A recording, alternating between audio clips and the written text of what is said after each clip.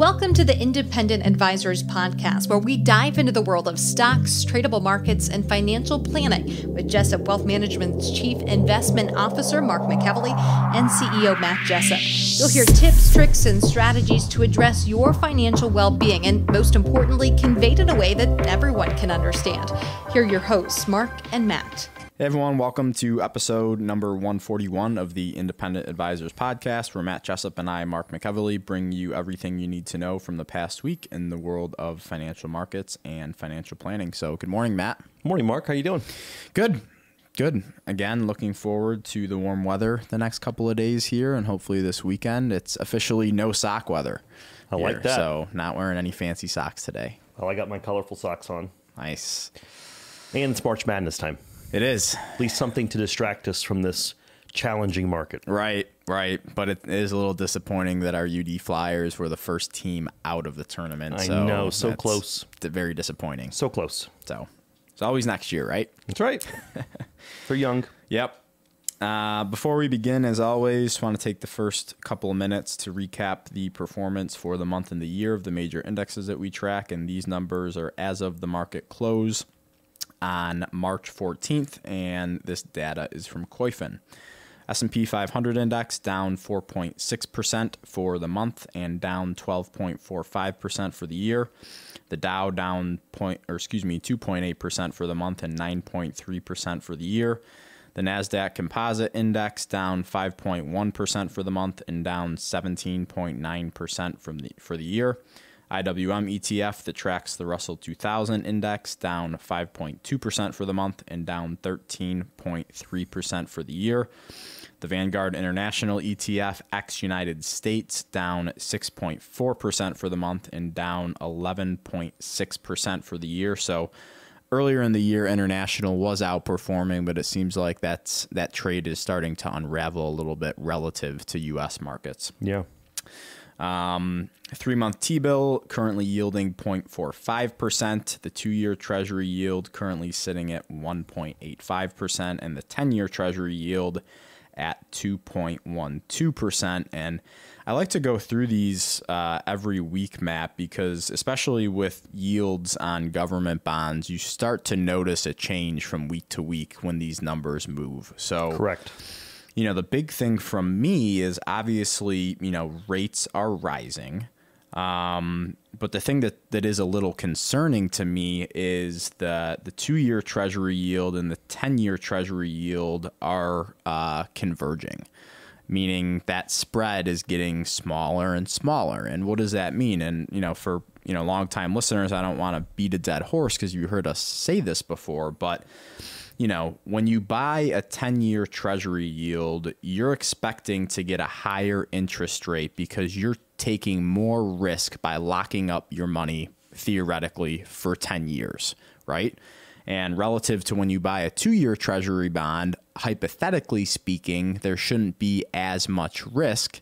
Hence, the two year treasury bond should be uh, yielding less than the 10 year.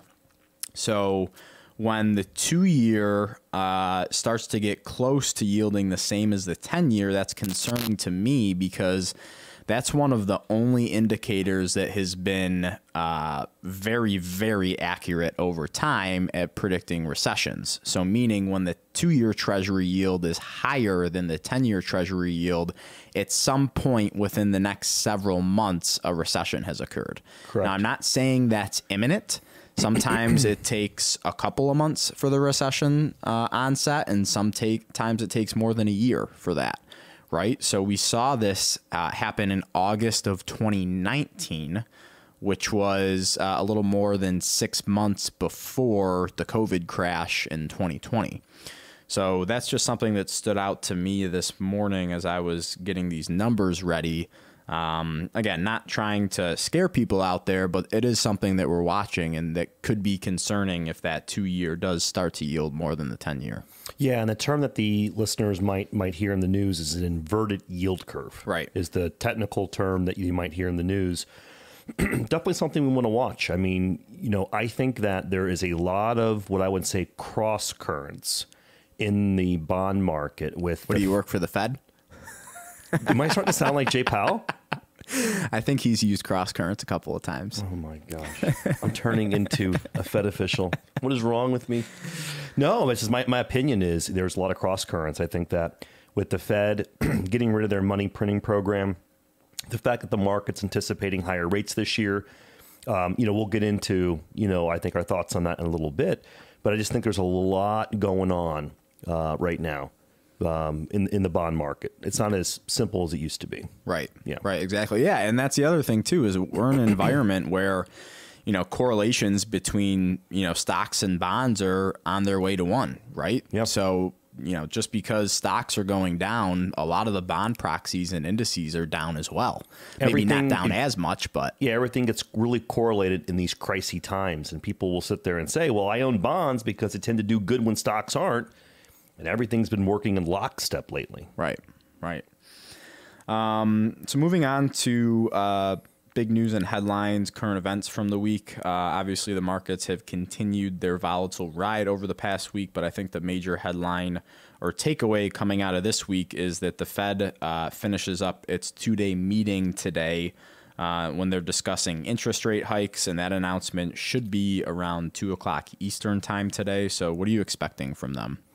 I'm personally expecting a quarter of a point raise with some sort of verbiage that isn't as aggressive or isn't as hawkish as it was in the past couple of meetings. You know, I still think that there's a lot of people on the street expecting upwards of eight quarter of a point interest rate hikes this year. Though anything's possible, I'm not in the high end of the camp.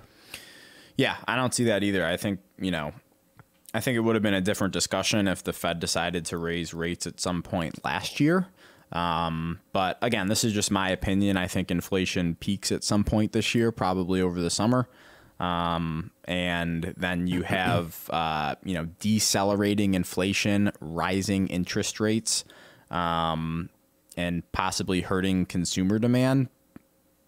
I mean, it's anyone's best guess as to how that's going to play out. But, and again, I, I think the the Fed is always in a tough spot, right? They're damned if they do, damned if they don't with this type of stuff. Oh, yeah. So, um, like you said, there is a lot of stuff going on that goes into these decisions, and obviously the um, Russia Ukraine uh, conflict is not helping anything. Um, Let but me, let me tell you why I think it's going to be less than eight. I think it's going to be less than eight because ultimately they don't want to have to backtrack. They don't want to overdo it, then have to lower rates and be herky jerky about it. right, So that's why I, I also think that they're going to be slower in these rate rises and they have the cover of what's going on internationally now to even do that further. Right. My two cents. Yeah, I agree. Um, moving on to tweets, articles, and research from the week. Um, had a lot of stuff from Michael Batnick. He's putting out a lot of. He actually puts out a lot of good stuff during times of uh, quote unquote crises um, with volatility in the market. So this one was from March eighth, titled "There's Blood in the Street." So I just wanted to read it just a little snippet from this uh, blog post. He said the Nasdaq 100 is currently in the third bear market of the last five years. Tech stocks are getting vaporized. Netflix and Facebook are trading at the same level they were at 2018. The three strongest names in the group, Apple, Google, and Microsoft, are all in correction territory. Fun fact, PayPal is the 20th biggest company in the S&P 500 and has had the honor of losing more market cap than all but 7 companies. A 70% decline in 7 months for a mega cap company is really something else That's carnage. That's carnage. It's hard to find a lot of positives to say about the current market environment, but I'll try anyway. These businesses are cheaper today than they were a year ago. So again, if you're a optimist and believe in the strong future of the US economy and the, really the world economy, you know, this could be the fat pitch that a lot of people have been waiting for over the past couple of years. Oh yeah, man. I gotta be careful with this one with me. You're gonna get me on my soapbox. Yeah, well, Tweet we'll article just research number one. right along here. uh, the next thing I had was a blog post by Jeff Hirsch on March 2nd titled uh, Contrary Bearish Sentiment Near Bottoming Levels. And I'll have Jenna throw this up on the YouTube video uh, for those watching here. You can check it out at our show notes um, at Jessup Wealth on Twitter or Jessup Wealth Management on Facebook and LinkedIn. Um, so he shows a chart of the S&P 500 index uh, and the difference between uh, bulls and bears. Uh, so Jeff says uh, yesterday's invested investors intelligence advisors sentiment report showed more bears than bulls for the first time since March and April of 2020 pandemic lows. This level of pessimism has historically occurred near market bottoms. Negative sentiment tend, tends to worsen before it and the market turns. It's not perfect and can go much lower uh, over an extended period of time, like it did in 08 and 09. The current market climate does not seem to be akin to the financial crisis with the economy humming along. Subsequent market and sentiment lows seem more comparable to the present with inflation concerns, a pending rate tightening period, geopolitical anxieties, and rising energy prices. So, um, obviously, this doesn't mean that the market's ready to start going back up again, but just historically, over the past decade, we're at levels where you know people are pretty bearish out there, and it's hard to find anyone that's optimistic going forward. Um, great be, contrarian indicator. Yeah, yeah, it is a great contrarian great indicator. contrarian indicator. But the important thing to know is it, you know, it could always get worse. it could always get worse. Absolutely. right. Absolutely. Um, so just thought it was it was interesting because there are not a lot of bulls out there right now. Yeah, and so when I see stuff like this, to kind of translate it to our viewers and listeners, people who were concerned about the market are either hedged or they've lowered their risk exposure, cash on the sidelines and it's like everyone in the room is looking for, okay, when people are going to start buying? And you have that flood of money come in. So, you know, with that being said, you know, it feels like we're in the vicinity. Yeah. Yeah, I would say so. Um, lastly, this was a blog post from Cullen Roche titled Bitcoin is a terrible form of money, but a very good store of value. So uh, I want to preface this with um, this isn't a recommendation for or against cryptocurrencies or Bitcoin in general, but just thought it was a, a good piece that I tend to agree with here. Okay. Um, so Cullen starts off and he says, This is kind of funny. He says, I have to put on my flame retardant suit for this one because the Bitcoin community is not going to like this. Here goes nothing. Oh, here we go. Money has always, uh, or excuse me, money always has to be defined in a unit of account. That could be Bitcoin, US dollar, whatever. Money cannot be a perfect medium of exchange and store of value at the same time. No asset in human history has ever served as a perfect store of value and perfect medium of exchange over long periods of time because there are necessary trade offs in the structure of these items that give them different benefits. I've argued that the defining feature of money is that you should be able to pay for things with it. If you can't walk into Walmart and use it to buy stuff, then it's not money. Medium of exchange is the key feature of what gives something moneyness. If you can't buy stuff with it or it isn't widely accepted, then it doesn't have a high degree of moneyness.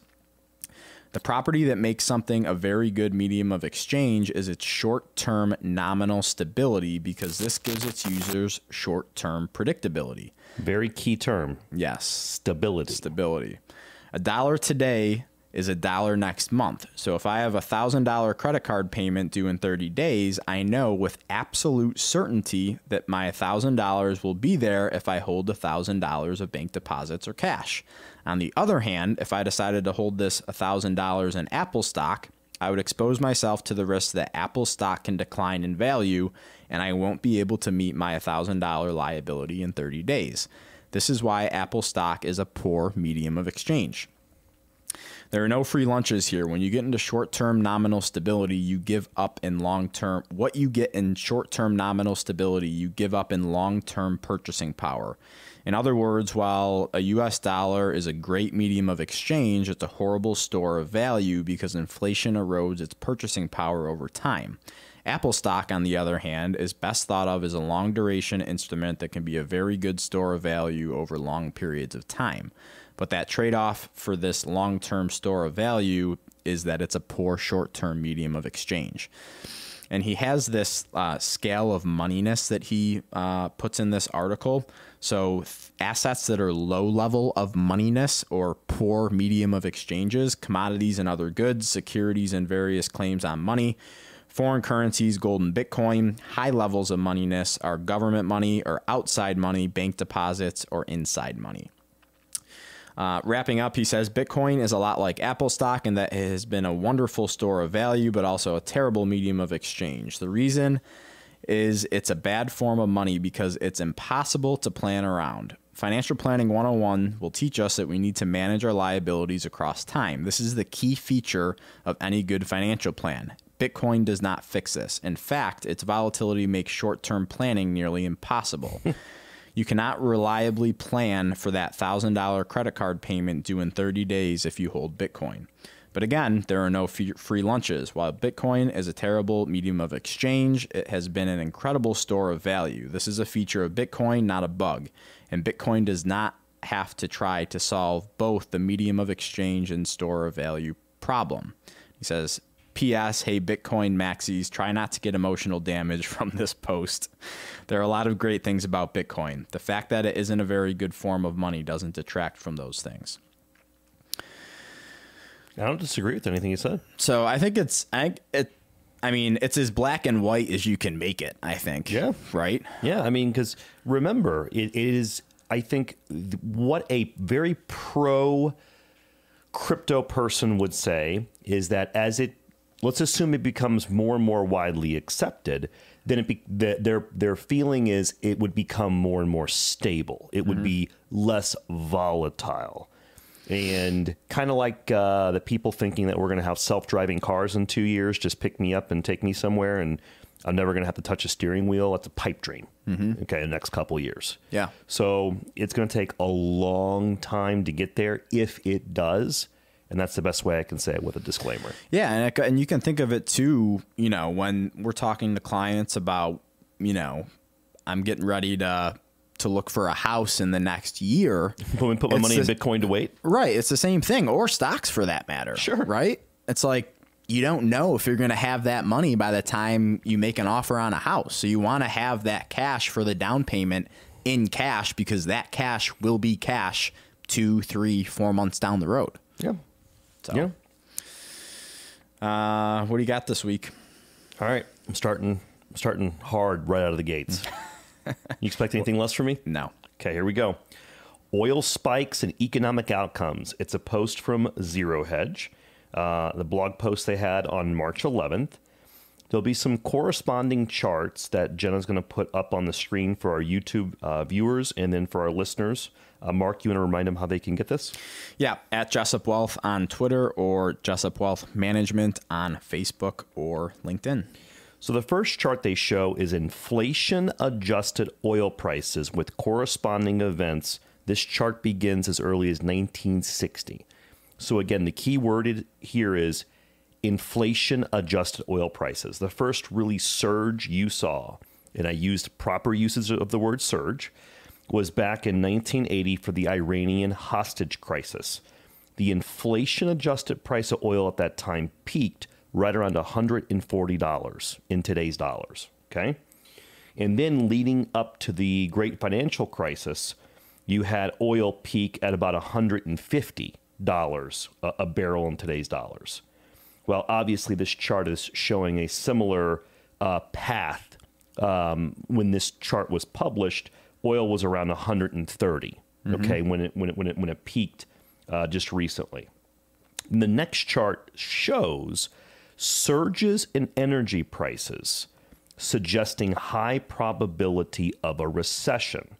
And it, it really shows that when the, the price of oil tends to peak, and roughly, you know, if it gets above that $100 a barrel right now on Brent, it definitely increases the historical chances of a recession. So this is something why I want to bring it up is this is why in my opinion the Chinese are not going to let sustained $100 of oil stay in the market because the great the overall economy cannot afford that and they need to be do exports bad. Mm-hmm. Okay? So this chart backs up my thesis that that is actually 100% factual. Mm-hmm. Okay. So I'm going to read what they wrote, and we'll then I'll get garner some feedback. This is what the blog post said. Will oil prices cause a recession? Depends on the Fed. The risk of a recession is rising. The surge in artificial inflation from the flood of liquidity against a supply shortage will eventually revert to a disinflationary trend. Debt and demographics will also continue to drive deflationary pressures, leading to a reversal of the inflation trade. However, for now, as the fear of inflation rose, investors piled into the commodity trade. While commodity prices rose due to the supply shortage, the reversal of that liquidity in rebuilding of inventories will ultimately undermine those assets. Such with coinciding with a sharp decline in interest rates as deflation reemerges. Of course, slowing economic growth and deflationary pressures will contribute to the decline in oil prices. One of the things that could generate that environment sooner than later is the Federal Reserve's tightening monetary policy. Historically, when the Fed has hiked rates or tapered its balance sheet, oil prices fall due to slower economic growth. Such should not be surprising since oil prices are a function of supply and demand. So, why do I bring this up? I think that right now you have oil internationally. The perception was that Russia can't sell its oil. False. They're going to sell it to other countries like India and China. They just won't buy it from other places. So I don't buy the whole long term supply disruption camp. Secondly, I don't think the Chinese are going to allow $100 plus oil for an extended period of time. With all this being said, I'm not in the camp that oil is going to go to 200. And even if it spikes from here, I think it'll be short term. And I think this helps provide some cover for the Fed that if these prices come in, it helps the Fed not have to raise rates as quickly. Yeah, no, I agree. Um, and it kind of looks like, I mean, just from us talking about the inversion of the yield curve earlier, it's almost shaping up to be a perfect storm for a recessionary environment. It is because if you look at this, if we have sustained oil above 100, you can see in this chart, and in, in listeners, I would recommend you pull it up it's pretty accurate. Right. And um, yeah, so I think it's, I mean, I think a lot of people are expecting a recession, and, and you know, I'm probably leaning towards that camp as well. Um, you know, but I, I just want to throw it out there, and I'm not trying to make things sound rosier than they are, but not all recessions are equal, right? So we had a recession in 2020. That was a quick one, right? It wasn't as drawn out and painful compared to uh, 2007, 2008, where it was longer drawn out and markets got cut in half. So just because we ha- have an impeding recession on our hands doesn't tell you the the strength of the recession, right? That's or correct. the duration of the That's recession. correct. And I could even I can even argue that uh, that could be priced in already. Right. It could be. Right? Yeah. All right. So I got uh, two more things. First uh, is a global financial conditions. Okay. Another tweet by Zero Hedge on March 10th. In the chart that they show was produced by Goldman Sachs. Okay. The index that they're talking about, which is the Global Financial Conditions Index, is a proprietary weighted average of a large number of variables, over 100 mark, each expressed relative to their sample averages and scaled uh, by their standard deviations. It covers financial conditions of money markets, debts, equity markets, and the traditional and shadow banking systems. The chart goes back all the way to 2012, a decade, and it shows some of the tightest monetary conditions going back the last 10 years. Now, why is this important for our viewers and listeners?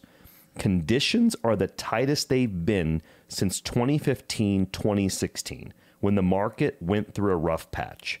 And I'm going to paint the picture of what was going on there because we get out of these times and we tend for, to forget how bad that situation was. So I'm going to paint it for you. During that time, the Chinese stock market was very poor. The SSE composite index fell 43% over two months in the summer of 2015 for the Chinese stock market investors started to sell stocks on a global basis on fears of a global economic slowdown that was appearing to begin in China. In addition, Greece defaulted on their debt in June of 2015. The market had a hangover from the end of QE, which happened in October of 2014, and then bond yields rose sharply in early 2016. What happened then in spring of 2016? Brexit was the it topic. A lot of uncertainty. And so, why do I mention this? It is confirmation that things are tough for the whole monetary system, not just stocks. Okay? This too shall pass. How long? That's anyone's guess. That is why I focus on individual companies whose earnings have not only held up in a lot of cases, Mark, but continue to rise over the last past several quarters. That is what matters, not these crazy predictions you hear every day. Mm-hmm. Your two cents. Yeah, I think it's, you know, it, like you said, I, you know, people have a short memory when it comes to markets and what was going on during different periods of time. But, you know, we've been through similar times like this before, but people just tend to forget. Yeah. I mean, if I sat there and said, hey, give me, give me four good examples of a tough correction we went through in the past decade, I can probably tell you no one would have even talked about this. Right. Right. Exactly. Okay. Now, I'm going to put things into perspective because people see these numbers, but year to date, and people think the rest of the year, you know, I'm going to toss this year out. Mm-hmm. Okay. So there was a tweet by Charlie Bilello on March 13th, and it says S&P 500 performance year to date. How does this compare to history? Okay. So um, this chart will also be in our show notes, and Jenna will throw it up on the screen for our YouTube viewers. This chart will show the worst performance for the first 48 trading days going back to 1928. And do you want to guess where 2022 lands? Number four, the fourth worst start to a year. The only three years that beat this 2009, 2020, and 1935. Okay? When you look through this data set, it is absolutely amazing to see on average what the market has done and only of the fifth, I'm sorry, of the 14 data sets, only two were negative. 01 down about 3% and 2008 down 32 in the great financial crisis. Why am I highlighting this? Statistically, looking back in the data sets with a poor start to the year doesn't necessarily mean the rest of the year is going to be poor as well. Yeah, exactly. And I think that that's something that we've talked about before, but you know, I think it's hard because people are are so anchored to like the calendar year in terms of in terms of performance. Correct. Where, you know, market cycles are not perfect like that. For lack of a better term, don't give a crap about Your where we are year. in the calendar year. That's right. Right? Yep. Um, so it's almost not a a great metric to use to like just do it like on a year by year basis, especially, you know, times like these because weakness can happen at any point during the year and strength can happen at any point during the year. Yeah, look at the fourth quarter of 2018. Right. I mean, the market was down 20%. Yeah. And, and, and perfectly in that quarter. Yeah. Perfectly. And, and, from a seasonality standpoint, Q4 is a pretty good quarter. Yeah. Right. So, um, yeah, it's interesting. It's interesting. But yeah, I Just agree. the fourth worst start I thought it really really interesting. Yeah. So and the numbers associated with those poor starts the rest of the year at the top were pretty good. Yeah. So it doesn't doesn't necessarily mean that you know people just throw in the towel and 2022 is completely shot. You yep. know, from a investment performance standpoint. Yep. So, um, financial planning topic of the week comes from an article in the Wall Street Journal. Uh, was written by uh, Glenn Ruffenach think I'm saying that name right, uh, on March 3rd of this year. And it was titled Do Bucket Investment Strategies Make Sense in Retirement? So Glenn starts out by saying using a bucket strategy, dividing your money into a handful of simple categories for an important goal is a fine way to manage and tap your nest egg later in life. This approach, though, likely does more for your mental health than it does for your portfolio. The mechanics are relatively simple. An investor sets up two or more buckets, each which hold specific kind of investments with different purposes and levels of risk. You can do this within a single retirement account and simply track on a spreadsheet, for instance, which investments are in which bucket. In a three bucket model, the first bucket would hold cash. He says enough to cover about two to three years of living expenses. So I just want to pause there for a second, Matt. What are your thoughts here? Because I think if people can afford to do that, then it's great. But I have a feeling that most people in the US at least, don't have the luxury of keeping that much cash since they still need their portfolios growing at a pretty good clip to get them the income they need in retirement. Yeah, I, I, I think that's that's definitely way too high in my opinion, mm-hmm. personally. Um, I think the only reason someone would really do that is if they were so skittish about the market that if it went down, someone's telling them you have two years of reserves of income, let it it'll come back type of scenario. Right. So, and he kind of gets into that a little bit. So, the other buckets mostly would hold respectively bonds and stocks. A cash from bucket number one gets, as cash from bucket number one gets spent, buckets two and three are tapped to replenish. Note that how much stock is sold compared with the bonds depends on how each is performing. Some of the best research on how buckets perform comes from Joel Tomlin, Tomlinson, an actuary and financial planner who writes about retirement finances. In a study published in 2020, he looked at how various withdrawal strategies, including buckets, would fare over a 30 year retirement. In other words, would an investor end up depleting his or her savings? Mr. Tomlinson found that buckets, for the most part, did no better or worse than several other approaches. Using a collection of pails to manage your money isn't likely to give you fatter returns or help your nest egg last longer. Breaking your investments into buckets may help simplify your way of confronting market up and downs. Here are two scenarios. On a stock market dip, bond holdings may be shifted into stocks as stock prices fall. Monthly income comes from a combination of cash and bond holdings, which have held their value during the sell off. On a stock market rebound, monthly income comes from selling stocks. Additional proceeds from cash, or excuse me, from stock sales may move into bonds or cash. So, why bother with buckets? Because they're designed to stop investors from making a fundamental error, it is. selling stocks in down markets. Again, the sizable cash cushion in bucket number one means you don't have to worry about where your paychecks are coming from if the sky is falling. What's more, that knowledge, that confidence, if you will, makes it more likely that you'll stick with your investment strategy in the long run. Mm-hmm.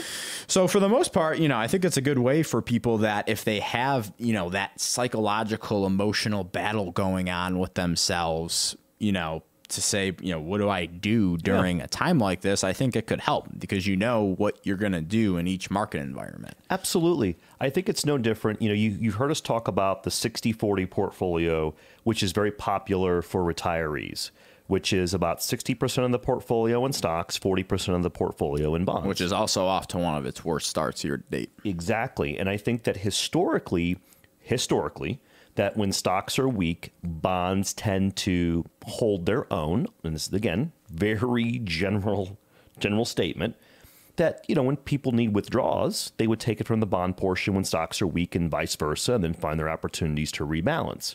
And I think it's no different. I just think that having the cash portion psychologically for those more concerned about market volatility, that's why you would do that.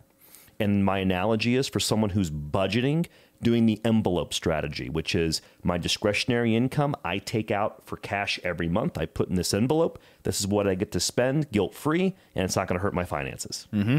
It's all for the psychology aspect of it. Right. Which I'm not against. Yeah. I just, we need to call it for what it is. Yeah, absolutely. Absolutely. So could be beneficial to look into this for you if you feel like this would help. Um, but you know, there's multiple ways to uh, to skin a cat, so to speak. Um, anything else you want to leave listeners with before we sign off for the week? So I have one comment from a listener. Listener's gentleman's name is Barry. And Barry um, is saying more Taylor for financial planning topic of the week. Okay. I think she's a fan favorite. Uh, I got messages a couple weeks before that uh, with some of the topics that she selected. Yeah. So uh, uh, n- no offense. No, I know. I I do- you do a great job. It. Yeah, less do- less work for me. You do a great job. I think we need to invite Taylor back for a couple people of want episodes. more like people want want more cowbell. They people want more want more? Taylor. Want more Taylor. Yeah, well, we'll slot Taylor in for the next couple of weeks for the financial planning topic of the week because that is her um, world of That's her forte. expertise. So, um, yeah, we'll make sure to do that. Yeah. Okay. Well, everyone get your brackets done. Yeah, get your brackets done. Uh, March Madness. First four kicks off uh, tom- today. Is it today Mm. or tomorrow? I think it's Wednesday, Thursday. I could be wrong though. Yeah, for in, at UD here. So Yep. that would have been fun to watch Dayton play Yeah. here. Wright State's playing at UDA. I know. I That's know. pretty cool. Yeah, very. All right, everybody. Uh, hope you enjoy the rest of your week and the warmer weather ahead. And we will be back with you for episode number 142 next week. We'll see you then. Thank you for listening to the Independent Advisors Podcast. If you're interested in hearing more, hit the subscribe button so you can be notified every time a new episode gets released. Feel free to share with friends, family, and follow us on Twitter at Jessup Wealth, Facebook, and LinkedIn. Mark and Matt will continue to share beneficial information on these social media sites. Also, check out the podcast tab on their website. That's www.jessupwealthmanagement.com. There you'll find links to every episode of the Independent Advisors. Have questions or topics you want to discuss on the show? Message us on Twitter, LinkedIn, or send an email with the words questions and topics in the subject line to inquiries at jessupwealthmanagement.com. We'll talk about it right here on the podcast. Certain sections of this commentary may contain forward looking statements based on reasonable expectations, estimates, projections, and assumptions. Forward looking statements are not guarantees of future performance and involve certain risks and uncertainties which are difficult to predict. All indices are unmanaged and are not available for direct investment by the public. Past performance is not indicative of future results. This podcast is provided for general informational purposes only and does not constitute either tax, legal, or financial advice. Although we do go to great lengths to make sure our information is accurate and useful, we recommend you consult a tax preparer, professional tax advisor, financial advisor, or lawyer regarding your specific circumstances. Investing involves risk, including the loss of principal. No strategy can guarantee any objective or goal will be achieved. Advisory services offered through Commonwealth Financial Network, a registered investment advisor.